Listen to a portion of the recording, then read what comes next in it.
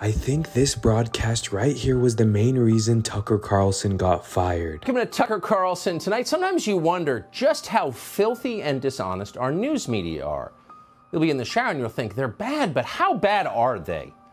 Well, here's one measure of their badness. You can try this at home. Ask yourself Is any news organization you know of so corrupt that it's willing to hurt you on behalf of its biggest advertisers?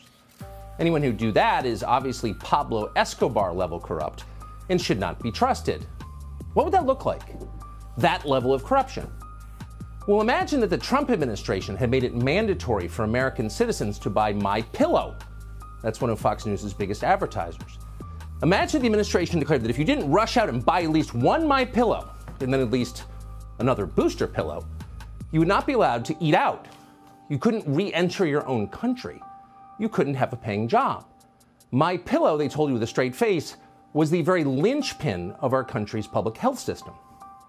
Now imagine as they told you that, that Fox, as a news organization, endorsed it, amplified the government's message. Imagine if Fox News attacked anyone who refused to buy My Pillow as an ally of Russia, as an enemy of science.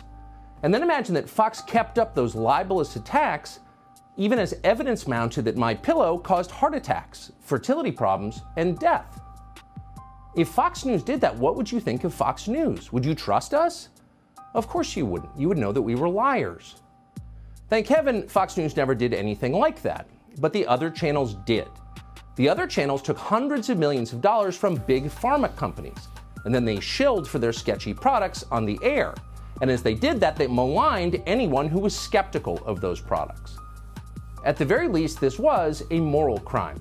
It was disgusting.